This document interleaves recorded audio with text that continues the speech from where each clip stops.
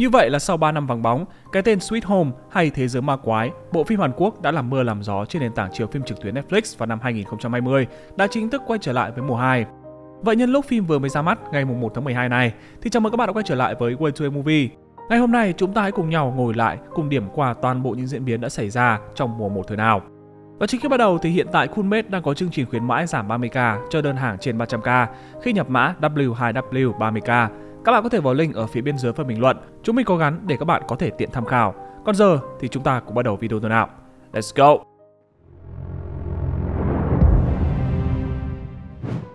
Phim là câu chuyện kể về cha Hun Su, một chàng trai với một cuộc đời vô cùng bất hạnh. Ban đầu, Hun Su vốn là một học sinh vui vẻ, hòa đồng và cực kỳ tốt bụng khi luôn muốn giúp đỡ những người xung quanh.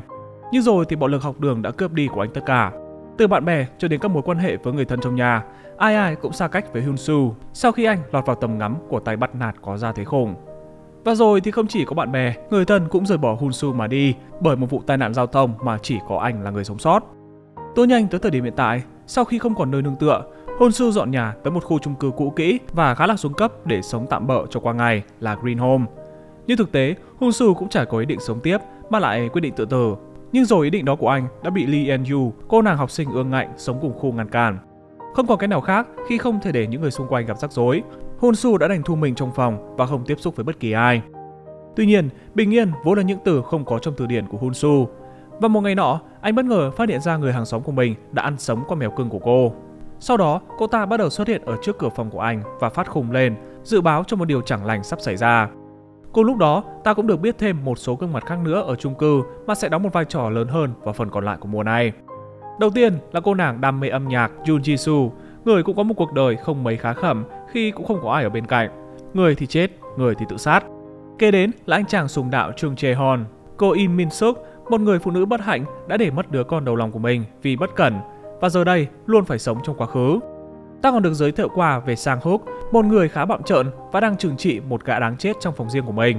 Tiếp theo là Lee Un Hyuk, anh trai của Un Yu, Tuy nhiên, cả hai không phải là anh em ruột mà chỉ là con riêng của bố mẹ mình. Và cuối cùng là Seo Ji Kyun, một lính cứu hỏa vô tình xuất hiện ở khu chung cư này trong lúc đang tìm kiếm vị hôn phu bất ngờ mất tích của mình khi chỉ còn vài ngày nữa là đến đám cưới. Trở lại với những diễn biến chính của phim, vụ việc bất ổn mà Hun Su gặp phải đã ngay lập tức xảy ra tương tự trước phòng của Jisoo, nhưng rất may là cô vẫn an toàn. Sau đó, đến tầng trệt của khu chung cư, khi tất cả mọi người đã không thể rời đi được vì hệ thống cửa đã khóa chặn hoàn toàn. Trong lúc tìm kiếm cách để mở cửa thì ông chủ tiệm tạp hóa Seok Hun đã tìm được công tắc và mở nó ra.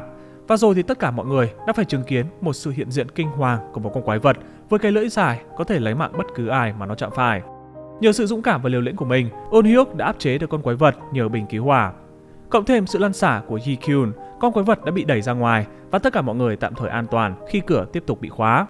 Cùng lúc đó, Hun Su trên phòng cũng bắt đầu xuất hiện dấu hiệu của việc biến đổi thành quái vật, đó là tình trạng máu mũi tuôn ra một cách không kiểm soát. Thế giới lúc này đây cũng bắt đầu tràn ngập quái vật bởi một con virus hay một lời nguyền nào đó chưa xác định. Con quái vật làm phiền trước phòng của Hun Su và Ji Su, sau đó cũng chạm mặt với Un Yu.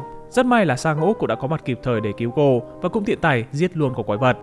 Khu chung cư sau đó cũng đã xuất hiện vô số người bị biến đổi thành quái vật.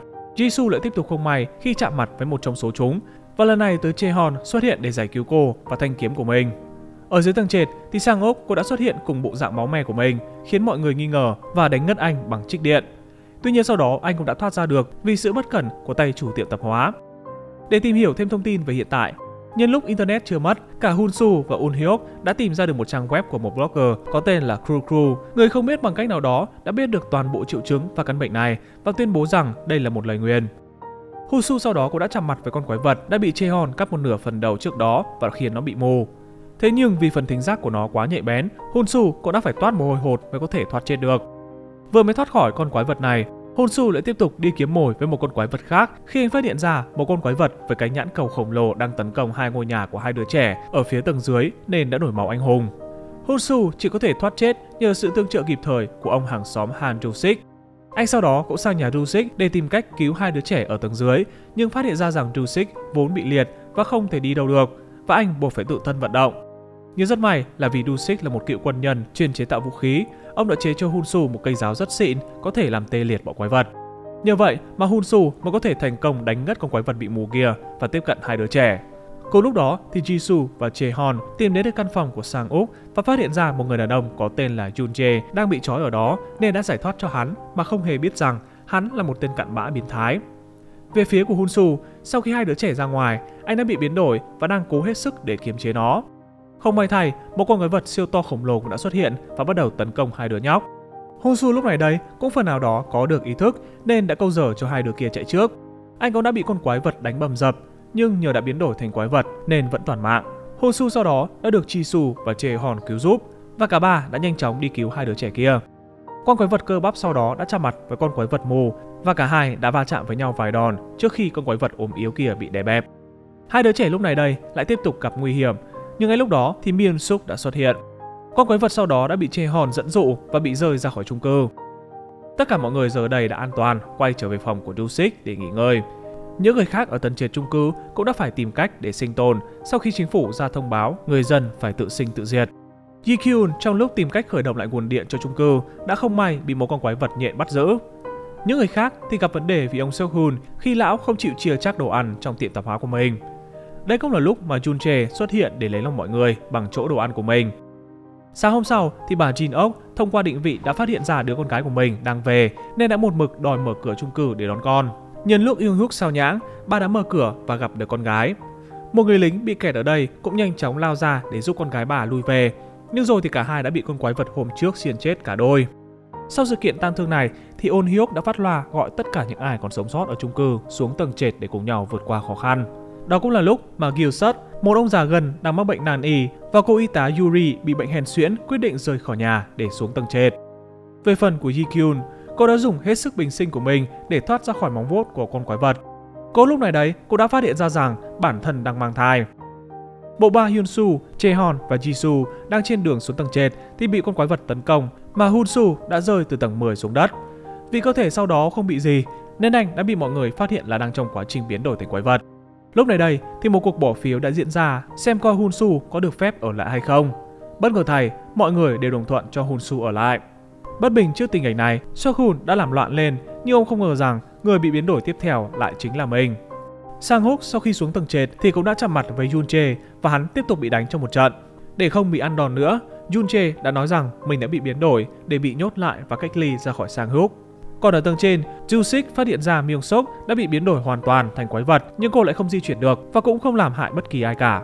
Việc Jusik rất là khéo tay và chế tạo vũ khí giỏi, sau đó cũng đã được Un Hyuk biết.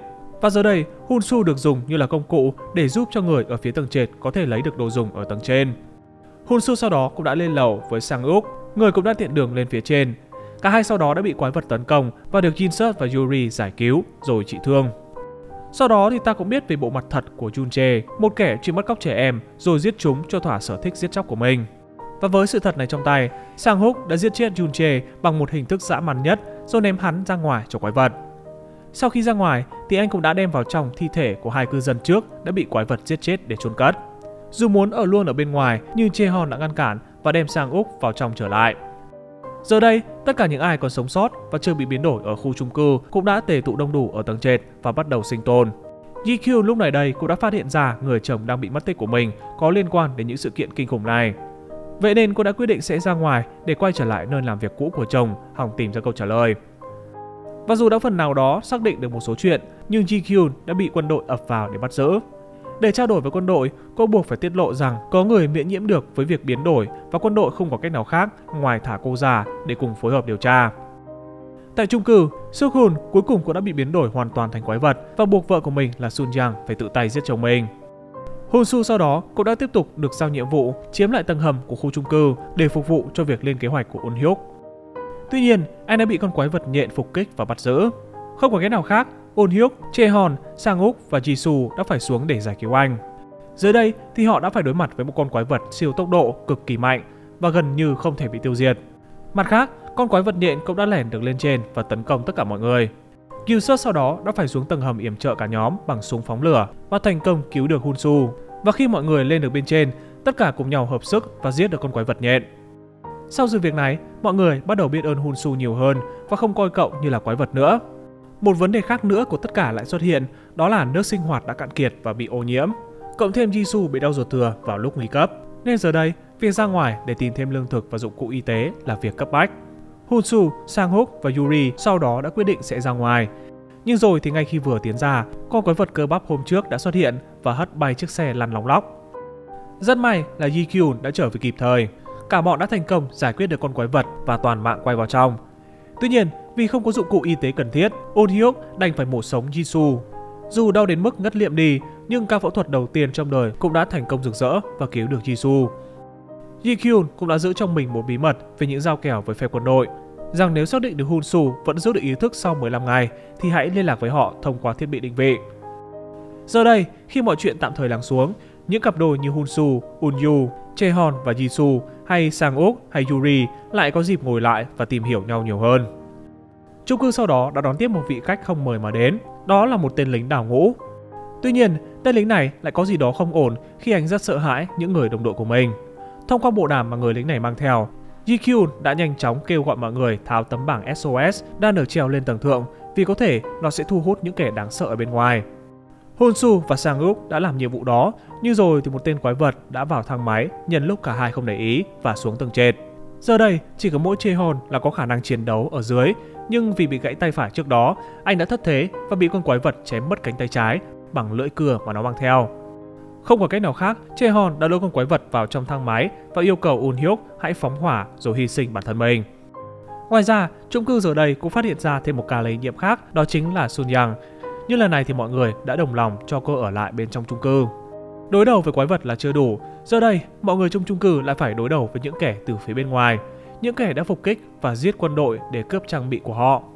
Chúng chấn áp tất cả mọi người và giết một số cư dân trong chung cư để cảnh cáo.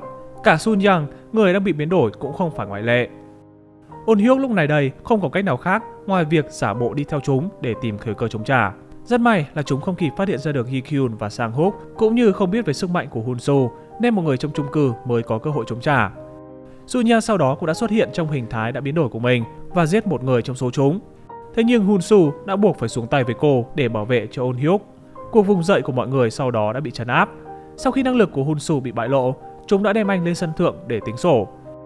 Nhưng rồi thì bất ngờ thay, một người trong số chúng là U Mi Yong bất ngờ giết chết thủ lĩnh của mình và tiết lộ cho Hun Su biết rằng cả hai giống nhau.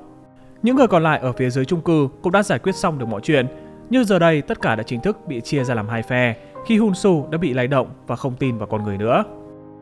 Việc Umi Yong cũng là quái vật, nhưng kiểm soát được giống Hunsu sau đó cũng đã được tiết lộ với tất cả mọi người. Umi Yong cũng liên tục tiêm nhiễm vào đầu Hunsu rằng con người và quái vật không thể sống chung với nhau được. Yuri sau đó cũng đã lên cơn hèn xuyễn, nên Sang Úc đã cố đưa cô ra ngoài để tìm cách chữa, nhưng đã bị Mi Yong ngăn cản.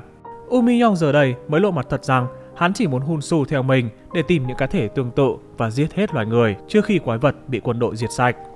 Trước đó thì Umi Yong cũng đã tiết lộ rằng quân đội có một kế hoạch rằng sẽ giết toàn bộ những ai trong tầm ngắm vì giết thừa còn hơn là bỏ sót. Vậy nên hắn sẽ không để một ai ra khỏi chung cư.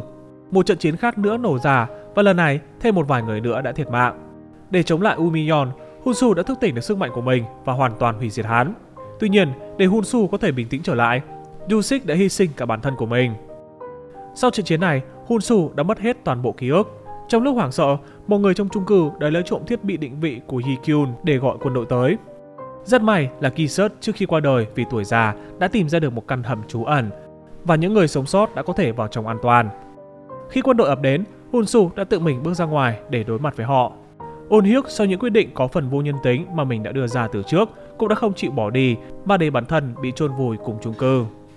Những người còn lại sau khi ra ngoài thông qua đường hầm cũng đã bị quân đội bao vây. Tuy nhiên, giao dịch giữa Ji Kyun cùng với quân đội vẫn chưa hết hiệu lực nên mọi người vẫn tạm thời được giữ an toàn. Về phần của Hun Su, anh đã bị áp giải đi bởi Sang Húc, hay nói đúng hơn là Mi Yong trong cơ thể của Sang Húc nhờ khả năng cướp xác của mình sau khi Sang Húc và Yuri đã chết ở phía bên ngoài. Và đó cũng là toàn bộ những gì đã diễn ra trong mùa phim đầu tiên, một dự án có phần hơi dài của Netflix Hàn Quốc. Và hy vọng rằng mùa 2 tới đây sẽ giúp cho chúng ta giải đáp được những thắc mắc còn đang dang dở. Cảm ơn các bạn đã theo dõi hết video này và sẽ hẹn gặp lại trong những video lần tới. Way to wear out.